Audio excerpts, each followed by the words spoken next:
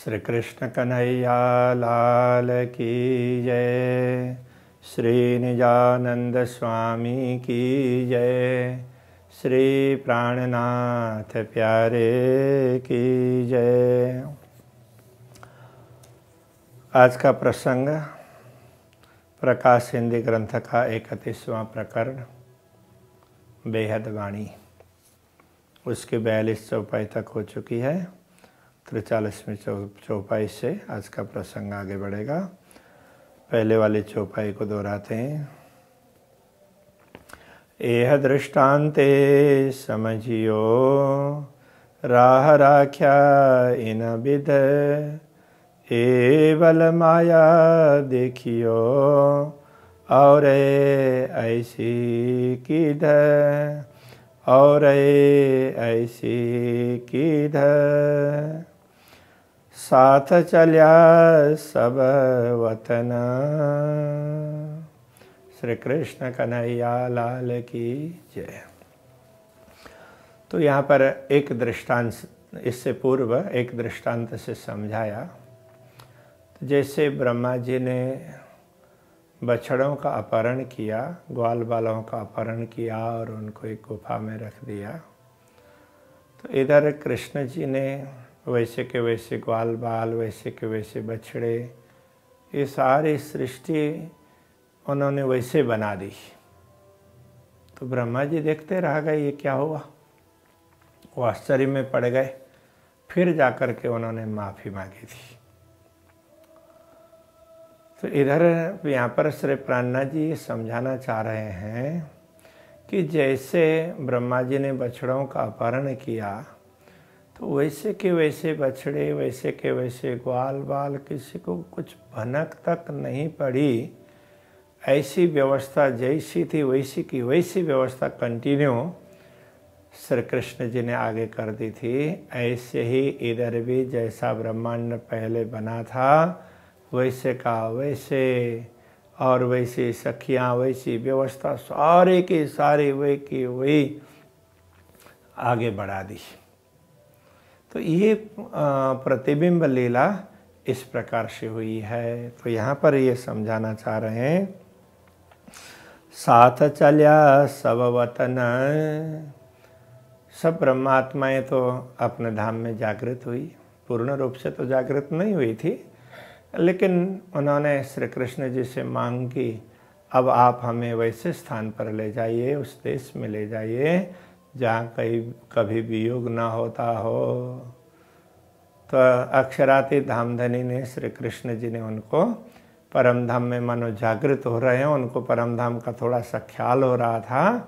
तो इतने में फिर उनके मन में ये बात हुई कि राज्य ने तो कहा था, तुम माया में जाओगे, खेल देखते हुए सब कुछ भूल जाओगे, मुझे भी भूल जाओगे, तुम स्वयं को भी भूल जाओगे परम धाम को भी भूल जाओगे और ऐसे ऐसे तुम कहाँ के कहाँ हो जाओगे?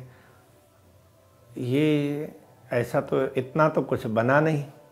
ऐसे कुछ ब्रह्मात्माओं के मन में ये भाव हुए। उसमें कहते हैं कि जो तामस स्वभाव वाली परमात्माएँ थी, उनके मन में ये भाव आ गए कि जैसे अक्षरातीत धामधनी ने हमें डर दिखाया था, उस प्रकार का भयावह दृश्य ये तो हमने देखा नहीं। हम सब साथ में रहे हमारे धनी साथ में रहे, बीच में थोड़ा सा वियोग हुआ, थोड़ा सा दुख हुआ, दुख थोड़ा देख लिया, लेकिन जितना बताया था उतना तो कुछ हुआ नहीं। उसको यहाँ पर समझा रहे हैं तो उस, फिर उनकी इच्छा पूर्ण करने के लिए फिर सृष्टि की रचना हुई। तो उस सृष्टि की रचना जैसी पहले थी, वैसी की वैसी हुई है। उसमें कोई फेरफार दिखता नहीं, किसी को पता नहीं चला वो तो अक्षराते धामधनी को ही पता है कि जिन्होंने ये परिवर्तन किया है, बाकी दूसरे लोगों को पता नहीं चला। अक्षर ब्रह्म, अक्षरातीत पूर्ण ब्रह्म, परमात्मा और अक्षर ब्रह्म, उनको ही पता था, बाकी लोगों को पता नहीं था। यहाँ पर ये समझा रहे हैं कि जैसे रास के बाद में एक तो ब्रह्मात्माएँ परमधाम की ओर गई, दूसरे तरफ़ वो गई तो अपने पीयू के साथ अक्षराते धाम देने के साथ में परम धाम गई। तो दूसरी तरफ़ क्या है कि ब्रह्मात्माएँ रास भी खेल रही है, क्योंकि अक्षर ब्रह्म ने रास लीला को अपने हृदय में अंकित किया, अंतस्करण में अंकित किया। तो अक्षर ब्रह्म अविनाशी है तो वहाँ पर खिलती हुई अक्षर ब्रह्म को दिख रही है।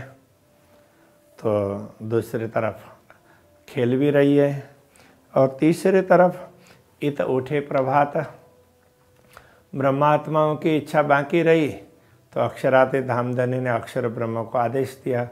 आ, अब ब्रह्मांड को पहले जैसा था काल माया का ब्रह्मांड वैसे के वैसे इसको आगे बढ़ाओ। तो अक्षर ब्रह्म ने उसको आगे बढ़ाया। तो जैसे रात को रास लीला करके तो सुबह घर में जा कर के सोई हुई हो और वहाँ पर उठी हो। इस तरह से ब्रह्मा आत्माएँ मतलब जो ब्रज की गोपियाँ हैं तो इधर जो लीला आगे बढ़ी तो उसमें उधर कृष्ण जी की वंशी सुन करके लीला करने जा रही थी। तो ऐसे में वहाँ चालू ये लीला आरंभ हुई। तो फिर तो कृष्ण जी ने बंशी भी बजाई, रास को, रास की लीला भी की और फिर वापस घर चली गई। और वहाँ जा कर के फिर सुबह उठ गई। सुबह उठने पर उनको लगा कि हमने रात में कुछ ऐसा देखा, ऐसा ख्याल आया। तो न तो वहाँ के ग्वाल वालों को पता चला कि हमारे घर से ये सब गोपियाँ वहाँ चली गई थी, रास को वृंदावन में चली गई थी, फिर कब आई? तो इस तरह से उनको ना किसी को कुछ ख्याल आया, ना किसी को कुछ ख्याल आया। और इन गोपियों को भी ये लगा कि हमने रात में कुछ देखा और सुबह उठने पर उनको लगा, रात में कुछ देखा, स्वप्न जैसा उनको थोड़ा थोड़ा ख्याल आ गया। तो अब देखें, एक तरफ़ ब्रह्मात्माएँ परमधाम में जागृत हो रही है तो दूसरी तरफ़ अक्षर ब्रह्म के हृदय में वो लीला अंकित हुई है तो वो लीला चल रही है, ब्रह्मात्माएँ उधर खेलती हुई नज़र आ रही है। और तीसरे तरफ़ इधर ये प्रतिबिंब लीला में तो सब सखियाँ मतलब वहाँ पर जैसे ब्रज की गोपियाँ जैसी थी, उस तरह से वहाँ पर जाग भी रही है सुबह। तो ये अलग अलग प्रकार के दृश्य तो यहाँ देख रहे हैं तो ये सब दृश्य सही होते हुए भी लोगों को इसके विषय में ख्याल नहीं है। तो रास लीला अक्षराते धामधनी ने की है, ये लोगों को ख्याल नहीं है। तो बाकी जो प्रतिबिंब की लीला हुई है तो वेद ऋचा को दिखाने के लिए उसके विषय में दूसरे लोगों को थोड़ा थोड़ा ख्याल है। नरसिंह मेहता ने भी इसी लीला को समझने के लिए प्रयत्न किया था। ये बात यहाँ पर श्री प्राणनाथ जी समझा रहे हैं। सोई गोकुल जमुना तट। गोकुल वही, गोकुल गाँव। यमुना जी वही, यमुना के किनारा वही। जाने सोई ब्रजवासी। तो ब्रजवासियों को लगा कि हम वही हैं। पहले भी हमने कई वर्षों तक, जैसे ग्यारह वर्ष तक की लीलाएँ थी तो उसी प्रकार की लीला हम करते आए हैं। ऐसा ही उनको लगा कि वो तो मानो सो करके उठे हुए हों। तो वो सारी की सारी बातें उनको उस तरह से लगी तो जैसा हम अभी तक करते हुए आए हैं। बाकी ये तो सृष्टि पूरी ही बदली हुई है। किस, किंतु किसी को भी ये पता नहीं चला। रास लीला जाने खेल के, मानो रास लीला खेल के, इत आए उलासी तो यहाँ उठ गए तो उठने पर उनका मन आनंदित हो रहा है कि अरे हमने रास लीला भी खेली थी, स्वप्न में खेली हो, इस तरह से उनको फील होने लगा। तो जाने सोई ब्रह्मांड तो ब्रह्मांड वही है, वैसा ही ब्रह्मांड लगा। तो उनको कुछ अलग ब्रह्मांड ऐसा लगा जो खेला था सदाए अभी तक जैसी लीला कर रहे थे, वही कहे वही वही चीज़, वही वस्तुएँ, वही घर, सब कुछ वैसे का वैसे उनको लगा। ये ब्रह्मांड जो उपजा ये ब्रह्मांड जो तीसरी बार उत्पन्न हुआ है, ऐसी रे अदाए, जो पहली बार का था, उसी प्रकार का ही ये तीसरी बार प्रकट हुआ है। इसलिए ये इस प्रकार से प्रकट हुआ है, ये समझा रहे हैं। इस अदा में, इस प्रकार से, इस रूप में ये प्रकट हुआ है। दो ब्रह्मांड बीच में, दोनों ब्रह्मांडों के बीच में। पहले का काल माया और फिर दोबारा होने वाला काल माया। तो बीच में योग माया का तो अलग ही एपिसोड था तो वो तो पूरा हो गया। तो बीच में ये जो प्रतिबिंब लीला बीच में रखी है तो वो प्रतिबिंब लीला है।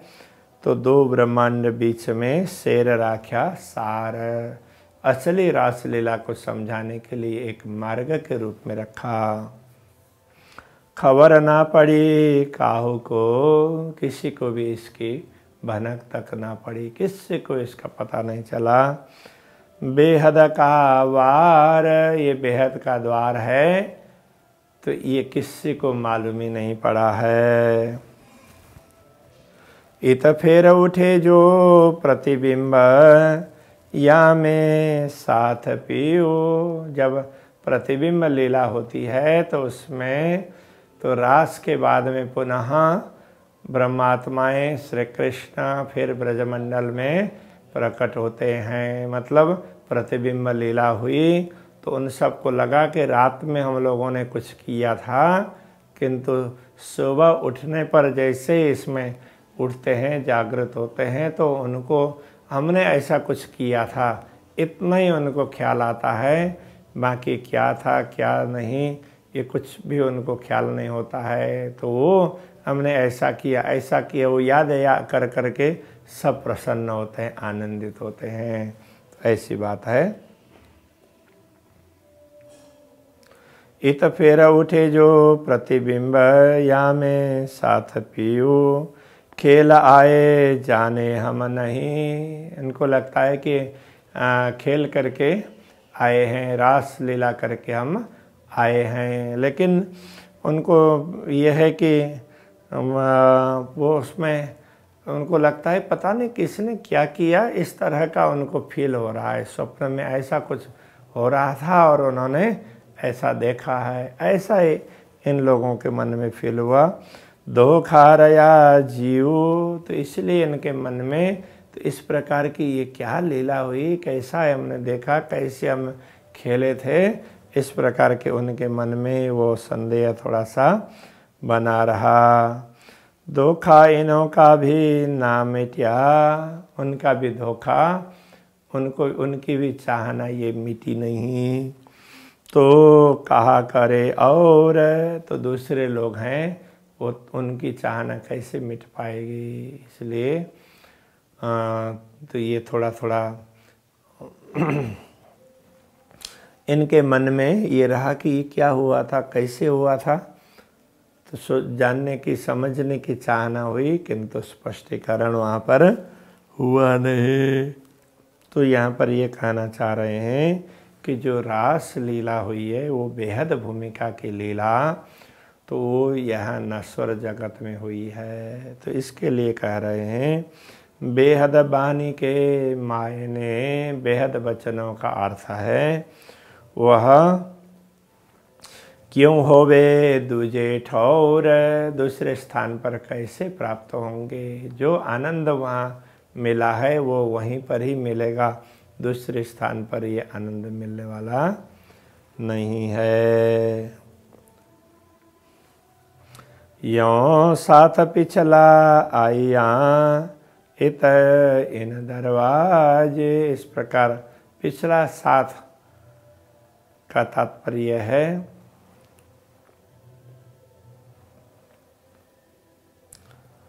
कि ये प्रतिबिंब लीला की सखिया, वो इत इन दरवाजे, इसी प्रतिबिंब लीला के मार्ग से उनको ये यहाँ ये प्रतिबिंब लीला के माध्यम से उन लोगों को ये थोड़ा सा समझा दिया गया। मूल साथ है, फिर आवश्य तो जो प्रतिबिंब लीला के साथ हैं, वही साथ फिर सात दिन तक गोकुल की लीला में रहे, चार दिन मथुरा की लीला में रहे, और उसके बाद में ग्वाल बाल वगैरह सब लौट गए ब्रज को। फिर श्री कृष्ण जी मथुरा में अकेले ही रह जाते हैं। उसके बाद की लीला है, वो अवतार लीला है। इसलिए तो यहाँ पर थोड़ा कुछ समझाया गया कि अक्षरातीत धामधनी पूर्ण ब्रह्म परमात्मा के विषय में हम पूरी श्रद्धा और निष्ठा रख कर के आगे बढ़ते हैं तो वो हमारे कोई भी कार्य पूर्ण कर देते हैं, जो बात हमें मालूम ही नहीं है। उसको भी वो पूर्ण कर देते हैं। उनमें इस प्रकार की विशिष्ट क्षमता होती है। मूल साथ फिर अवश्य मूल ब्रह्मात्मा ये तीसरे काल माया के ब्रह्मांड में लील, दुनिया के दुख सुख देखने के लिए फिर आएँगी। तो ब्रह्मात्माएँ सदगुरु के प्राकट्य के समय पर साथ साथ आई है। सतगुरु के प्राकट्य के संदर्भ में कहते हैं जब सदगुरु दुनिया में आए तो ब्रह्म आत्माएँ भी उनके साथ में आई। एक या जिन काजे तो ये कालमाया का तीसरा ब्रह्मांड जिन लोगों के लिए बनाया गया है तो वो ब्रह्म ब्रह्मात्माएँ फिर बाद में आएँगी। इस समय आई नहीं थी। ये बात यहाँ पर समझा रहे हैं। क्या जाने हद के जीवड़े इस परिवर्तनशील जगत अथवा हद परिवर्तनशील जगत की सीमा इसके अंदर रह करके जिन्होंने भी अध्ययन किया है तो उनमें से कोई भी बेहद की बात नहीं कर पाएँगे। बेहद की बातें तो वो समझेंगे नहीं तो फिर करेंगे कैसे? रास में खेले अखंड इत उठे प्रभाते। तो रास लीला भी उन्होंने खेली, वो भी अखंड है। अक्षर ब्रह्म के अंतकरण में वो लीला चलती ही रहती है। जब तक अक्षर ब्रह्म का स्वरूप रहेगा, तब तक ये लीला चलती रहेगी। इसलिए इसको अखंड कहा है। तो इत उठे प्रभाते तो इधर तो प्रभात में तो ये सब उठ भी जाती है, गोपियाँ उठ जाती है अपने अपने घरों में। खेले पिछले साथ में, सात दिन ताई तो उस समय श्री कृष्ण जी भी प्रकट हुए और तो ये गोपांगनाएँ भी तो उन्होंने पिछले साथ के साथ में तो कई दिनों तक लीला की है तो उसमें से सात दिन सात दिन गोकुल की लीला है, सात दिन ताई। तो अक्रूर चलिया, बुलाए के गोकुल आकर के अक्रूर ने अक्रूर ने संदेश दिया और श्री कृष्ण और बलराम को लेकर के वो चला गया।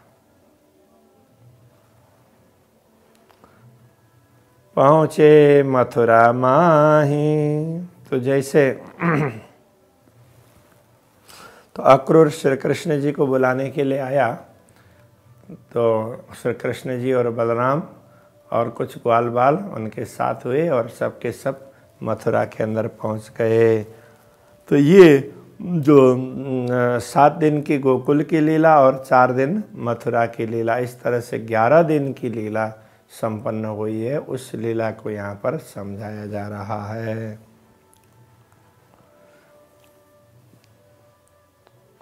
तोलो भेष जो पियो का, तब तक तो अक्षरातीत का ही भेष है। अब उसके बाद में तो अक्षरातीत का भेष इस तरह से बनेगा। तो यहाँ पर कहते हैं, तोलो भेषजो पियो का कुबलाय पीड़ मारिया। तो मथुरा जाने के बाद में तो उन्होंने वहाँ पर धनुष यज्ञ चल रहा था। कंक्ष ने बड़े बड़े योद्धा और वीर लोगों को बुलाया था। तो सबके मन में ये था, कृष्ण जी यहाँ तो नहीं आएँगे। किंतु तो कृष्ण जी आए और आकर के फिर उन्होंने कुबलाय, कुबलया पीड़ हाथी को मारा, चाणूर और मुष्टिक ये पहलवान थे, इनको भी मार दिया, संहार किया। जाए कंस पछाड़िया, फिर श्री कृष्ण जी ने जाकर के कंस को भी पछाड़ दिया, उनको भी मात कर दिया।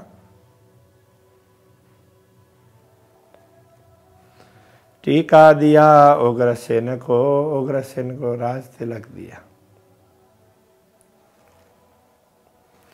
भय दिन चार, इतने करते हुए चार दिन व्यतीत हुए। तो चौथे दिन में उन्होंने क्या किया? छोड़ वसुदेव, वेश उतारिया। वसुदेव देवकी को बंधन मुक्त करके फिर उन्होंने अपना ग्वाल वेश उतार लिया।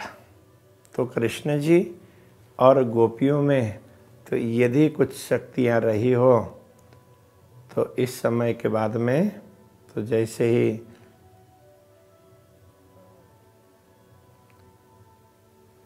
श्री कृष्ण जी ने ज्ञान उपदेश भी दिया, सब कुछ दिया लेकिन जैसे श्री कृष्ण जी ने ग्वाल वेश उतार करके नंद बाबा को लौटा दिया। उसके बाद श्री कृष्ण जी में फिर वो जो गोलोकीनाथ की शक्ति है वो भी उस समय के बाद में चली जाती है। उनको फिर पता चलता है कि मैं कौन हूँ किस तरह से हूँ। फिर ऐसे में आ, तो वो आ, उनको ख्याल आ जाता है कि मैं तो भगवान विष्णु का अंश हूँ, अवतार रूप में हूँ। तो फिर आयुध और रथ वगैरह वैकुंठ से मंगा लेते हैं। तो कहते हैं, या दिन थे अवतार, तब से श्री कृष्ण जी भगवान विष्णु के अवतार के रूप में समझे जाने लगे। अब यहाँ से लीला हद की, अब यहाँ से हद की लीला की बात करेंगे तो सो तो सारे के सी सारे के सारे। ये हद इस परिवर्तनशील संसार के विषय में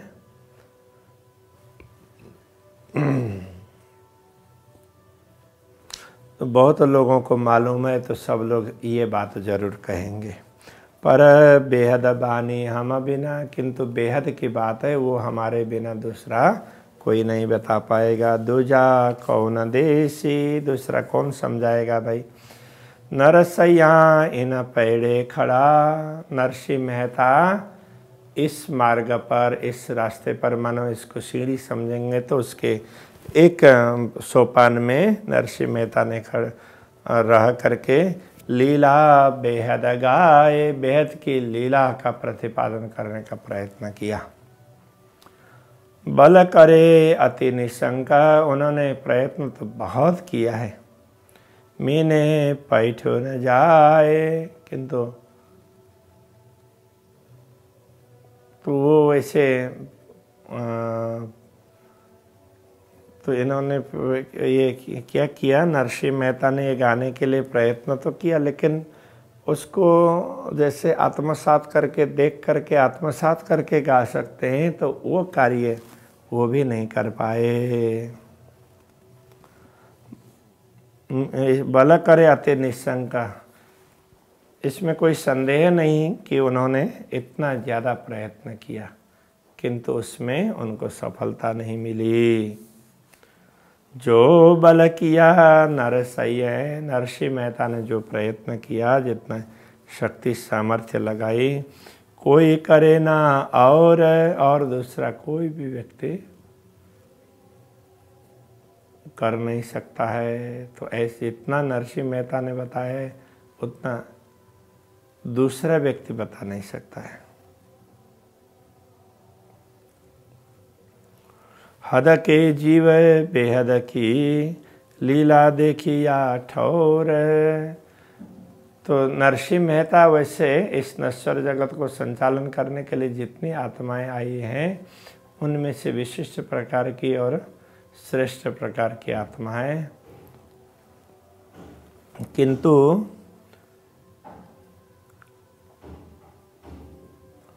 उन्होंने जितना प्रयत्न किया, इतना प्रयत्न दूसरा नहीं कर सकता। किंतु वो भी लीला देखी, या ठौरा उन्होंने भी ये लीला देखी है, किंतु उसको पूर्ण रूप से वर्णन नहीं कर पाए। नरसैया दौड़िया रस को नरसिंह मेहता तो इस रस को पाने के लिए दौड़े हैं। बानी करे रे, पुकार। उन्होंने श्री कृष्ण जी की ब्रज लीला की वाणी बहुत कुछ बताई है, बहुत पद है। रस जाए हुआ अंदर, किंतु रास लीला के लिए उन्होंने जैसे ही प्रवेश करना प्रयत्न किया तो उनको कुछ और ही दिखने लगा। तो और क्या है उसके विषय में? श्री प्राणनाथ जी समझा रहे हैं कि रस जाए, अंदर हुआ आड़े दरवाजे, चार तो यहाँ चार दरवाजे हैं, उनके लिए व्यवधान रूप बन गए। तो चार दरवाजे के, दरवाजे को कुछ महापुरुष अपने अभिमत के अनुसार कहते हैं, स्थूल सूक्ष्म कारण और महाकारण, जैसे ये शरीर है, इसमें दिख रहा है ये स्थूल है। इसको चलाने के लिए कुछ ज्ञानेन्द्रियाँ, मन वगैरह मिल करके तो सूक्ष्म शरीर का निर्माण करते हैं। तो उनमें से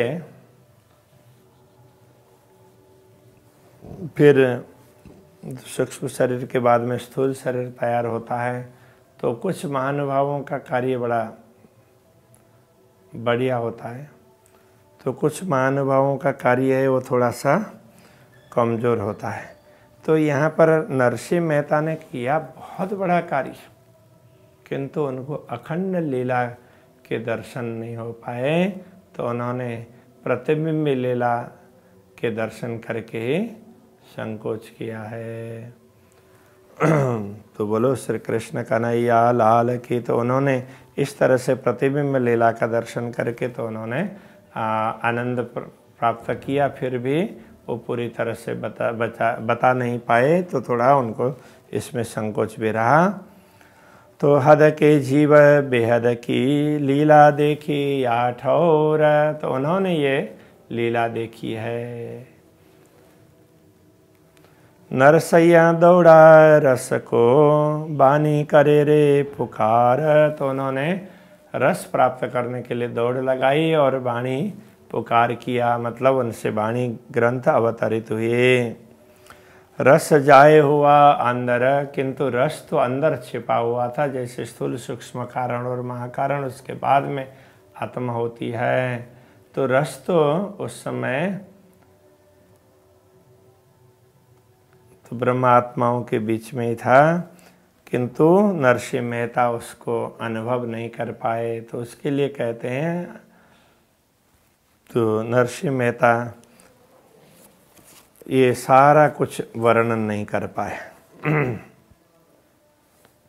तो ये चार दरवाजे आड़े रहे, उनको स्थूल सूक्ष्म कारण और महाकारण ये भी कहा है। किंतु इसके साथ में दूसरी बात ये भी है, रस प्राप्त करना हो तो मनुष्य को हमेशा सजग रहना पड़ता है। तो उसमें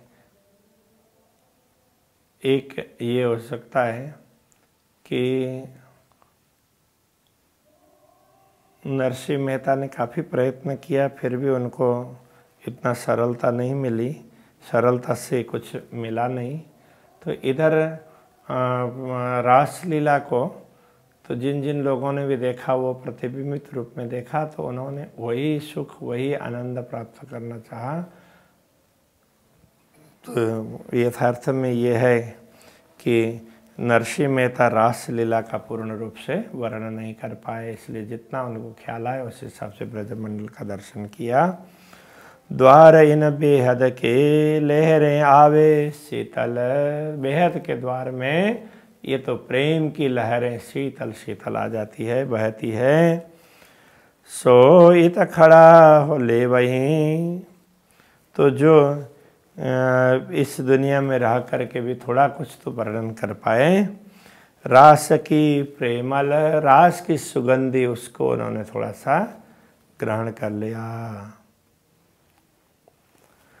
इन दरवाजे नरसैया तो नरसैया इस प्रेम के द्वार से आगे बढ़ने के लिए प्रयत्न कर रहे थे। प्रेम लपटाना, किंतु उस समय वो स्वयं ही प्रेम में मस्त हो गए। तो। लीला पिछले साथ में सुखले समाना। तो पिछले पिछली बार जब व्यवस्था हुई है तो उसमें सब संत महापुरुष पहुँचे हैं। तो उस समय तो यहाँ से मंच से तो पिछले मतलब प्रतिबिंब में लीला के सुंदर, ये वेद ऋचा सखियाँ हैं। उन लोगों ने भी सुख लिया है तो उसी सुख का वर्णन नरसिंह मेहता ने भी थोड़े से शब्दों के द्वारा किया। लीला सुखे वर्णन करी। सुखदेव जी ने जो लीला का वर्णन किया है, ब्रज रास बखाना ब्रज और रास दोनों लीलाओं को दिव्य बताया है। बेहद की बानी बिना, किंतु बेहद की बानी ये बेहद का, ये ज्ञान न होने से ठौर ठौर बंधाना किसी चीज़ को कुछ स्पष्ट कर रहे हैं तो वो पूरी तरह से कर नहीं पा रहे हैं। ना तो ये क्यों ऐसे वर्णवे क्यों कहे पंच अध्याय? नहीं तो अथवा अन्य था तो मेरा आ, मेरा इस प्रकार से आप सबको कहने का भी नहीं बनता। और और नरसिंह मेहता ने जो सुखदेव जी ने जो कुछ वर्णन किया तो वो तो पाँच ही अध्याय में वर्णन है। तो इतना आनंद इतना आनंद ऐसा ये विषय है तो वो थोड़े समय में इसमें कुछ फ़र्क पड़ने वाला नहीं है। तो यदि आ, कोई ये समझें कि सुखदेव जी ने वर्णन किया तो रास में पाँच अध्याय तो हैं ही। तो यहाँ पर श्री प्राणनाथ जी कह रहे हैं कि देखो तो ये किसी न किसी प्रकार का षडयंत्र तो पाँच अध्याय ये कैसे, पाँच ही अध्याय में ये कैसे बताया जा सकता है? इतना इतना ज़्यादा वर्णन, इतना रास का, इतना लंबा वर्णन, इतना आनंद की बातें वो पाँच अध्याय में सिमटती नहीं है। तो सुखदेव जी ने तो वो थोड़ा सा परीक्षित के प्रश्न करने के बाद में फिर वो ज़्यादा कुछ बता ही नहीं पाए, जो उनको लगा अंदर से जो शक्ति कह रही थी वो अभी उनके पास में नहीं है। तो कहते हुए उनको जितना आनंद आया था, उसमें से थोड़ी थोड़ी बात उस समय उन्होंने कह दी। तो इसलिए पाँच अध्याय बना है। ये रस छोड़ और वचन, इस रस को छोड़ करके दूसरे वचन हैं। मुख कार्यो न जाए तो बाकी दूसरे वचन तो कुछ बता ही नहीं सकते। तो रास का वर्णन तो कितना होता करोड़ों ग्रंथ बन जाते, इसलिए यहाँ कह रहे हैं, होवे स्कंद द्वादश द्वादश थे। द्वादश स्कंद से वो बहुत कुछ ज़्यादा होता, इत कोट गुने या तो करोड़ों गुना ज़्यादा हो जाता। पर क्या करें? आज्ञा इतनी, किंतु जिसको जितना आदेश है, वो उतना ही काम कर सकते हैं। तो उनकी आज्ञा इतनी ही हुई। बस ना ही आने तो वो उनके बस में वो बात नहीं हुई। कहाँ घटना नहीं हुई? कहाँ से कौन आ रहा था? कौन जा रहा था? तो ये सारा उनके बस की बात ना रही। ना हुई ज़ाहिर या मुख। तो सुखदेव जी के मुखार बिंद से ये बात ज़ाहिर नहीं हुई।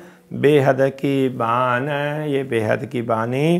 दाख रही बहुत हृदय उनको। ये समझ करके कहने की इच्छा तो बहुत हुई। कल्प्या दुख आन तो वो याद कर करके बहुत दुखित हुए। कल्पने भी लगे। कंपमान होए कल कलिया उनका शरीर भी कांपने लगा तो फिर भी वो बड़ा, हृदय को बड़ा द्रवित बना, बनाने बनाए। कंपमान होए कल कलिया रस गया, या थे तो कंपमान हुए, बड़े दुखी हुए थे तो वहीं से तो ये रस चला गया है। सो ये दुख क्यों सह सके, रस जाए जाते तो ये आ, ये सारे सुख दुख वगैरह इसका अनुभव कौन करेगा? तो इस समय तो थोड़ा अनुभव इनको ये करवाना चाहिए। तो इसके लिए कह रहे हैं तो सुखदेव जी कंपमान हुए कुछ बता नहीं पाए। तो सो ये दुख क्यों सह सके रस जाए? जाते ये रस जाता तो वो बिल्कुल के बिल्कुल ही उस समय कह नहीं पाते। ये तो क्या है कि लीला का भेद है और कल्पांत भेद होने से कुछ दो घटनाओं को तो एक ही घटना के रूप में यहाँ पर समझाया गया है। बेहद शब्द कहे का था हरख अपार। तो बेहद की लीला समझाने का मन में हरख था। दरवाज़ा ना खोलिया रसरया सार।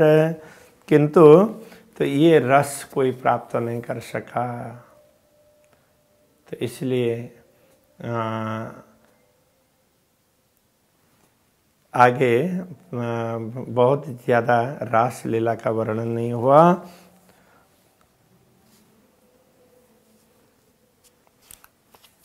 दरवाज़ा ना खोलिया रहा रस, सारा तो ये रस वैसे के सार रूप रस ये वैसे के वैसे बना रहा बना रहा।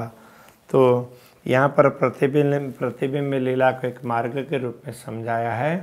तो वो प्रतिबिंब लीला को समझें तब जा कर के उनको लगेगा कि नहीं तो ये हद से, बेहद बेहद से परे अक्षरातीत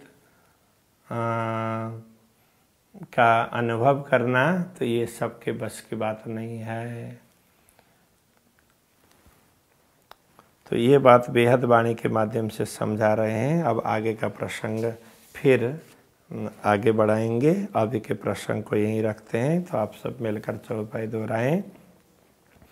बेहद के शब्द के का, था हरख अपार। दरवाज़ा ना खोलिया। रया रस सार, रया रस सार। बोलो श्री कृष्ण कन्हैया लाल की जय प्रणाम।